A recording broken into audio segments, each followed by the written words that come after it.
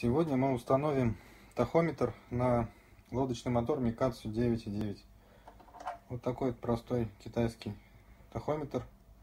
Что нужно для того, чтобы установить? Нужно вот этот провод, единственный, который идет от тахометра, намотать на свечной высоковольтный провод мотора. Здесь два таких провода, потому что два цилиндра, достаточно на один. Вот возьмем 6-7 витков примерно, ну от 5 там, до 6-7. Вот такой конец провода оставляем и начинаем наматывать. Раз, два, три, четыре, пять, шесть, семь. Вот, намотали и теперь это все закрепим изолентой.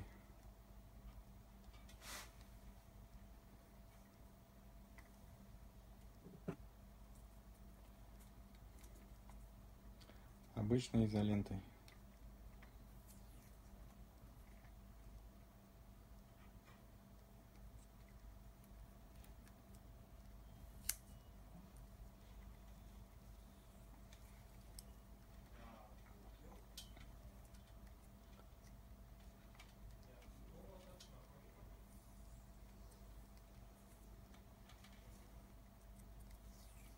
так чтобы он не разматывался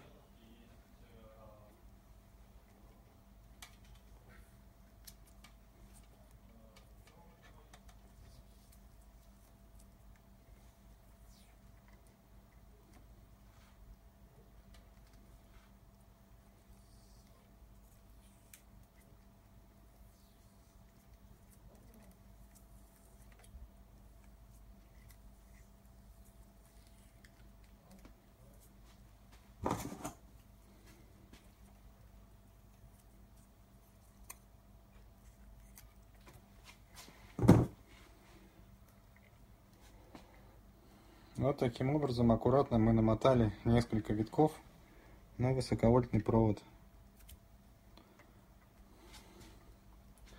Остаток провода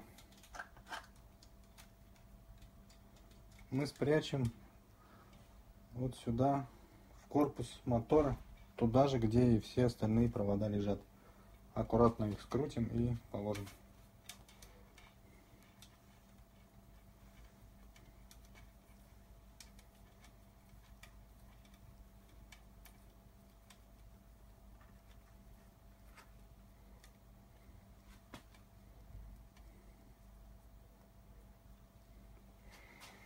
И зафиксируем той же самой изолентой.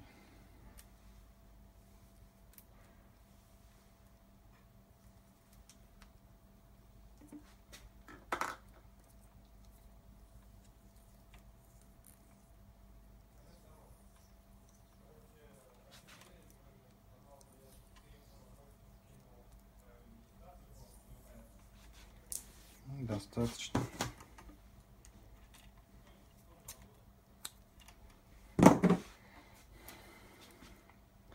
Спрячем туда, где все остальные провода. Аккуратно намотан провод на провод тахометра намотан на свечной провод, зафиксирован изолентой. Излишки провода мы смотали в пучок, вот так, и положили в корпус лодочного мотора, туда же, где лежат остальные провода. Конец провода, э, который идет к самому тахометру, мы вывели через то же самое отверстие, через которое в корпус мотора заходят остальные провода с румпеля. Это от кнопки и тросик.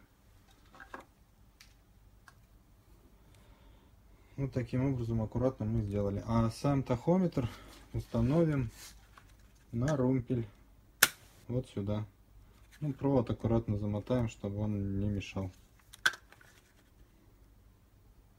Тахометр мы установили на румпель с помощью скотча обычного и изоленты.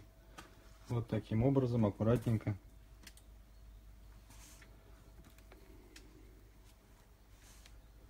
Провод от него идет под румпелем и заходит в то же самое отверстие в корпусе, куда и все остальные провода. Провод свободный, не перетирается и ничему не мешает. Крышку мы одели, крышку мотора одели на двигатель и смотрим, тахометр никак не мешает откидыванию румпеля. То есть он не задевает за крышку.